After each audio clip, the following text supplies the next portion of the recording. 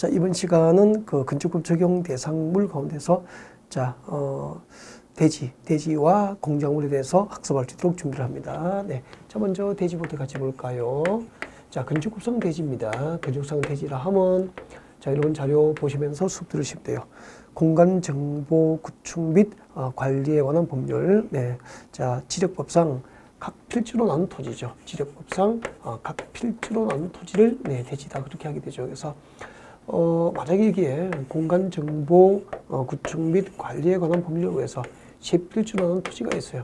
A, B, C 이렇게 세 필지로 나눈 토지가 있으면은 이세 필지로 나누어진 이 각각의 필지가 각각 건축 구성 대지가 된다는 뜻이에요. 그래서 공간 정보 구축 및 어, 관리에 관한 법률상 각 필지로 나눈 토지가 건축 구성 대지다라고 하는 말의 뜻은 곧 어, 공간 정보 구축 및 관리에 관한 법률상 한 개의 필지, 일필지는 곧 건축법상 일대지, 일필지, 일대지가 원칙이다 그런 뜻이에요. 그래서 지금 이런 자료에 공간 정보 구축 및 관한 법률에 따라 각 필지로 나눈 토지를 말한다. 밑에다가 일필지, 일대지 원칙으로 적은 거예요. 아시죠? 그래서 어, 지력법상 한 개의 필지는 곧 건축법상 한 개의 대지가 된다. 일필지, 일대지가 원칙인데 예외가 있죠. 두개 이상의 필지를 하나의 대지로 다 외워야 된다고. 예외적으로 두 개 이상의 필지라고. 그두개 이상의 필지니까 원칙대로 몇 개의 대지죠? 그렇죠. 두 개 이상의 대지가 돼야 되는데 이 두 개 이상의 필지를 일대지 한 개의 대지로 할 수 있는 토지가 여섯 개가 있습니다. 여섯 개를 보면은 기억날 정도로 준비해 두셔야 돼요. 아셨죠? 네. 자, 하나씩 같이 볼까요?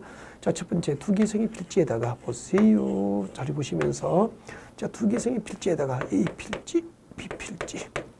그럼 이제 두 개의 필지잖아. 몇 개의 대지죠? 두 개의 대지가 되는 게 원칙이라고. 근데 이렇게 두 개의 성의 필지에다가 하나의 건축물을 걸쳐서 건축해 버리면은 건축물이 걸쳐서 건축된 A 필지와 B 필지를 합하여 건축물에서 몇개 대지로 본다? 하나의 대지로 보는 거죠. 이 그림을 상상하면서 계속 반복하셔야 됩니다. 두 개의 성의 필지에다가 하나의 건축물을 걸쳐서 건축하면 합하여 한 개 대지를 보는 거죠. 그리고 자 공간 정보 구축 및 관한 법률. 네. 자 공간법상 합병할 수 없는 토지가 있습니다. 공간 정보 구축 및 관리에 관한 법률. 자 지적법상 합병할 수 없는 토지가 여섯 개 정도 돼요. 그 중에서 다음에 나오는 경우죠. 자 우리 공간 정보 구축 및 관리에 관한 법률에서는 자, 각 필지의 지번 부여직이 다르면은 지번 부여직이 다르면은 합병할 수 없다라고 돼 있어. 지번 부여 지역이 달라서 지번 부여 지역이 달라서 합병할 수 없는 토지를 합하여 건축해서는 한개 대지로 보는 거예요. 그리고 도면 축적, 도면 축적이 다른 경우에도 합병할 수 없죠. 도면 축척이 달라서 합병할 수 없는 것을 합하여 건축에서는 한개 대지로 봅니다. 그리고 상호 인접하고 있는 필지, 상호 인접하고 있는 필지의 집안이 집안이 연속되지 않는 경우도 합병할 수 없지만 이를 합하여 건축소는 한개 대지를 보는 거죠. 공간 정보 구축 및 관리하는 법률상 합병할 수 없는 토지 가운데서 지번 부여적이 다르거나 도면 축적이 서로 다르거나 집안이 연속되지 않는 토지를 각각 합하여 건축선 이를 한개 대지로 봅니다. 그리고 자 국토계획법상 도시군 계획시설이죠. 도시군 계획시설 도시군 계획시설이 설치된 일단의 토지는 도시군 계획시설 설치가 결정시 된 일단의 토지입니다. 예를 들면 이런 서울의 잠실 종합운동장입니다. 잠실 종합운동장. 잠실 종합운동장은 네, 서울시 도시군 계획시설이라고 이렇게 도시군 계획시설 설치가 결정시 되니까 일단의 토지는 두 필지상이어도 한개 대지를 보는 거죠. 도시군 계획시설 설치가 결정시 된 일단의 토지는 두 필지상이어도 건축에서는 한개 대지를 본다. 그 다음에 이제 주택법에 의해서 사업계획 승인을 받아 주택법상 사업계획 승인을 받아서 주택을 건설한 주택단지입니다. 그럼 여러분이 살고 계시는 아파트 단지 있죠. 아파트 단지는 그 공동주택 건설 시대수가 30대 이상이죠. 30대 이상이면 건축법상 건축을 받지 않고 주택법에 의해서 사업계획을 받아요. 공동주택 건설 시대수가 몇 세대? 30대 이상이면 그리고 단독주택은 30호, 30호 이상을 건설하면 주택법에 의해서 사업객수를 받고 집을 짓게 되는 거예요. 그렇게 주택법상 공동주택 건설 지대수가 30대 이상이거나 단독주택 건설 호수가 30호 이상이어서 주택법에 의해서 사업객수를 받고 주택이 건설된 그 주택 단지는 이상이어도 건축에서 몇 개 대지를 본다? 하나의 대지를 보는 거죠. 그래서 여러분이 살고 계시는 아파트 단지는 30대 이상이죠? 그러면 건축가 받지 않고 주택법상 사업계획 승인을 얻어서 아파트 지은 거예요. 그 주택 단지는 두 필지 이상이어도 한개 되셔야 된다는 얘기예요. 그리고 다섯 번째, 도로의 지표 아래에 건축을 건축합니다. 도로의 지표, 도로의 지표 아래에 아래에 어, 건축물을 건축하는 경우, 예를 들면 뭐죠? 지하상가죠. 지하상가. 여러분, 도로의 지표 아래에 건축을 건축하는 경우로서 허가권자가 정한 토지는 어, 예를 들면 지하 차, 지하 점포죠. 지하 상가, 지하 상가는 특별지상이어도 건축에서 몇개 대지로 본다? 하나의 대지로 봅니다. 그리고 우리 건축에서는 집을 다 지으면는지 사용공사를 받아야 됩니다. 준공검사. 자, 그래서 여기 보세요. 여러분 여기 세 필지 토지가 있었어. 세 필지. A, B, C. 그러면 한 필지, 1필지 1대지가 원칙이니까 본래는 세 개의 대지잖아요. 근데 이 필지의 건축이 건축을 합니다. 이 필지 건축해가지고 건축공사 끝나면 준공사를 받습니다. 그 준공사를 건축부에서는 사용 승인이라고 합니다. 나중에 배워요. 자, 그리고 이제 집 다 짓고 사용 승인 신청할 때, 준공사 신청할 때죠. 사용 승인 신청할 때이 세필지를, 이 세필지를 하나로 합칠 것을 조건으로 허가받으면 사용 승인 신청 시 합칠 것을 조건으로 허가받은 토지는 두 필지상이어도 건축사 몇개 대지로 본다? 하나의 대지로 인정하게 됩니다. 그리고 자, 저 밑에 양거로 2번이죠. 자, 이번에는 한 필지 이상의 일부입니다. 한 필지 이상의 일부분. 자, 한 필지 이상의 일부분을 필지의 일부분을 예, 건축법상 한 개의 대지로 하는 토지가 있죠. 건축법상 한 개의 대지로 할 수 있는 토지가 다섯 개가 있습니다. 그래서 두 개 이상의 필지를 한 개의 대지로 할 수 있는 토지하고 한 필지 이상의 일부, 필지의 일부분을 하나의 대지로 인정할 수 있는 토지를 구분해야 돼요. 자, 이것은 하나 설명하고 이해하고 원리가 똑같기 때문에 외워버리면 돼요. 자, 설명하겠습니다. 봐주세요. 그럼 여기 10필째 농지가 있어요. 네, 10필째 농지. 전다 가순등 농지입니다. 10필째예요. A, B, C. 10필째 농지가 있다. 자, 이 10필째 농지를 제가 샀습니다. 제가 10필째 농지를 취득을 해서 여기다 집을 지을 거예요. 그래가지고 자 10필째 농지에 집을 짓습니다. 자 빗금침만큼 빗금침 부분만큼 집을 짓기 위해서 농지를 대지로 바꿔야 되죠. 이를 농지 전용한다 그래요. 그럼 대지 산지를 산지를 대지로 바꾸면 산지 전용, 농지를 대지로 바꾸면 농지 전용 그렇게 되는 거예요. 자 그러면 자, 십필지의 네, 토지에다가 이렇게 빗금침 부분만큼 네, 집을 짓기 위해서 농지를 대지로 바꾸기 위해서 농지 전용 허가를 받아버리면은 농지 전용 허가 받아보면 십필지의 전부입니까? 일부분입니까? 십필지 일부니까 한 필지 이상의 일부분이잖아. 일부분이어도 이것은 일부의 대지입니까? 한개 대지로 옵니까? 하나의 대지로 오는 거예요. 그래서 이렇게 오면 되죠. 앞으로 농지법상 농지 전용 허가를 받았거나 산지관리법상 산지 전용 허가를 받았거나 국토교육법상 개발의 허가를 받았거나 국토교육법상 도시군 계획 시설 설치가 결정고시된 토지는 그 토지가 한 필지 상의 일부여도 한 필지 상의 일부분이어도 건축에서 몇개 대지로 보죠? 하나의 대지로 봅니다. 같이 위치를 꺼버릴까요? 자, 2번 하나의 상의 필지의 일부, 일부 동그라미 합니다. 일부를 건축법상 한 개의 토지로 할, 한 개의 대지로 할 수 있는 토지죠. 자, 하나의 생의 필지 일부에 대해서 밑줄 것십시오. 도시군 계획 시설이 결정 고시된 부분 줄 거예요.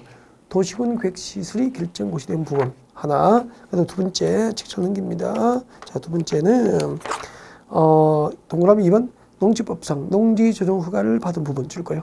농지법상 농지 조정 허가를 받은 부분 밑줄 것이고 그다음 3번에 자, 산지관리법상 산지 조정 허가를 받은 부분 밑줄 것입니다. 그리고 4번에 국토교육법상 개발 행위 허가를 받은 부분 밑줄 것습니다. 이렇게 해서 네 개죠. 어, 농지주동, 어, 도시공 계획시설 사업이 결정 고시된 부분, 농지주동 허가를 받은 부분, 산지주동 허가를 받은 부분, 그리고 국토교육법상 개발의 허가를 받은 부분은 그 허가받은 부분이 한 필지 이상의 일부여도 건축에서 이를 몇개 대지로 본다. 하나의 대지로 본다는 거죠. 그리고 5번 사용승인 신청할 때 필지를 나눌 것을 조건으로 건축허가를 하는 경우 그 필지가 나누어지는 부분의 토지는 한 필지상의 일부여도 건축부서는 이를 한개 대지로 봅니다. 좀 어렵죠? 네, 그림을 따로 그리겠습니다. 봐주세요. 여러분 이게 한 필지예요. 한 필지인데 어, 면적이 660제곱미터, 여기 200평이구나. 우와, 660제곱미터예요. 그러면은 딱 절반 100평씩 330제곱미터로 나눠서 이제 나중에 어, 절반만 집을 질 수도 있잖아요. 그래서 본래는 한 필지인데 봐요, 한 필지인데 자 이게 네, 건축을 합니다. 건축을 하고 자 건축공사 끝나면은 뭘 받죠? 준공공사. 준공공사를 건축에서 뭐라고 하죠? 사용승인이라 그래요. 그러면 건축공사 끝나고 사용승인 신청할 때, 사용승인 신청할 때, 사용승인 신청할 때, 어, 필지를 나눌 것을 조건으로 건축허를 받으면은 사용승인 신청할 때 필지를 나눌 것을 조건으로 허가받은 부분은 한 필지의 일부지만 그래서 일부의 대지를 뭡니까? 하나의 대지를 보는 겁니까? 하나의 대지를 본다는 얘기예요. 여기까지입니다. 다섯 개를 이용이 되죠. 농지법상 농지조정 허가를 받았거나 산지관리법상 산지조정 허가를 받았거나 국토교육부상 개발 허가를 받았거나 도시공 백시설 설치가 결정시 된 부분은 한 필지상의 일부여도 하나의 대지를 본다. 본래는 한 개 대지였는데 건축 공사 완료 필지를 나눌 것을 조건으로 허가받은 부분은 한 필지의 일부여도 일부의 대지로 봅니까? 하나의 대지로 봅니까? 하나의 대지로 본다. 그렇게 되죠. 처음에는 다소 어색하고 어렵지만, 네, 어렵지만 몇 번 반복하면 금방 익숙해지게 됩니다. 알겠죠? 네. 반복이 최고예요. 그죠? 다음에, 자, 3번. 축조 신고 대상 공작물의 법입니다. 여러분, 그, 일단은, 어, 공작물하고, 어, 건축물이 있죠. 이 공작물하고 건축물은 어떻게 구분해야 될까요? 어, 둘 다 인공을 가하여 제작된 시설물이라는 점은 똑같아요. 인공을 가하여 제작된 시설물이라는 점에서는 똑같은데 어, 지붕이 있으면은 지붕이 있으면은 건축물로 봐요.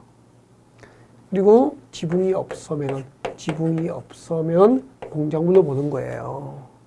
알겠죠? 그러면은 이 공작물은 전부가 건축법칙을 받는 것이 아니고 그 종류별로 일정한 범위를 넘으면 네, 건축고축을 받기 때문에 이제 건축고에서 축조를 신고해야 돼요. 축조를 이제 구청에 가서 신고를 해야 되죠. 그래서 축조 신고 대상 공작물은 곧 건축법 적용을 받는 대상으로 생각하시면 되죠. 건축법 적용을 받기 때문에 임의로 축조할 수 없고 축조를 신고해야 된다는 거죠. 그래서 축조 신고 대상 공작물 범위에서 암기를 하셔야 됩니다. 자, 1번 같이 봅니다. 자, 높이 2m를 넘는 옹벽과 담장. 여러분, 옹벽과 담장은 지붕이 있어요? 없어요? 없죠. 없으니까 공작물이라고 건축물이 아니고. 자, 몇 미터 넘죠? 옹벽과 담장은 2m를 넘으면 건축법칙을 받게 되죠. 그래서 옹벽과 담장, 옹벽, 옹동그라미, 담장, 첫 글자 담동그라미에서 옹담은 2m 그렇게 오는 거죠. 옹담은 2m. 그 다음에 높이 4m를 넘는 자 밑으로 가십시오. 강고탑, 강고판. 첫 글자 동그라면 광광이죠. 광고탑 광, 광고판 광, 광광은 4m. 옹담은 2m, 광광은 4m 그렇게 오는 겁니다. 자, 높이 6m를 넘는 굴뚝 굴 동그라미 그리고 6m를 넘는 장식탑 기념탑 장 동그라미 기념탑 기 동그라미 굴장기 그리고 6m를 넘는 골프 연습 연습장 등 운동 시설을 위한 철탑, 철탑 줄고 철 동그라미 그래서 읽어보십시오. 굴뚝, 장식탑, 기념탑, 철탑은 모두 6m를 넘으면 축조 신고 대상이 되죠. 책까지 따서 굴장기칠 6m 그렇게 오죠. 옹담은 2m, 광광은 4m, 굴장기철 6m 그렇게 오죠. 다음에 6번 높이 8m를 넘는 고가수조, 고가수조 미칠 것이고 수조가 뭐죠? 물통이죠, 물탱크죠. 그러니까 이제 물탱크, 물통을 얹기 위해서 이렇게 구조물을 채우겠죠. 철 구조물 같은 거. 자 이렇게 지지대를 채워서 여기다 이제 이제 물통을 얹어 이렇게. 이게 찰랑찰랑 이게 고가수조죠. 이 고가수조 높이가 몇 미터? 이 높이가 8미터를 넘으면 네 건축법칙을 받기 때문에 축조 신고합니다. 고가수조 8미터 이오십시오. 그리고 높이 8m 이하, 이하 동그라미. 높이 8m 이하인 밑줄 쭉 그십시오. 기계식 주차장과 철골 조립식 주차장으로서 외벽이 없는 것은 축조 신고 대상이 됩니다. 다 넘는인데 이것만 8m 이하가 그죠? 특이하죠? 그래서 높이 8m 이하인 기계식 주차장과 철골 조립식 주차장으로서 외벽이 없는 것은 축조 신고 대상이 돼요. 그리고 8번 바다 면적 30제곱미터를 넘는 지하 대표죠. 지하 대표는 30 외우십시오. 그리고 조례를 정하는 제조시설, 저장시설, 유희시설. 네. 제조시설, 저장시설, 유희시설. 유희가 뭐죠? 논다는 뜻이 놀이시설. 우리 그 어, 에버랜드 가면 놀이기구 많죠. 네, 유의시설이 되죠. 그래서 어, 축조 신고 대상으로 건축 조례가 정한 제조시설, 지당시설, 유희시설은 네, 조례를 받기 때문에 축조 신고 대상이 됩니다. 그리고 건축물 구조에 심대한 영향을 줄 수 있는 중량물, 중량물로서 어, 조례가 정한 것도 축조 신고 대상이 됩니다.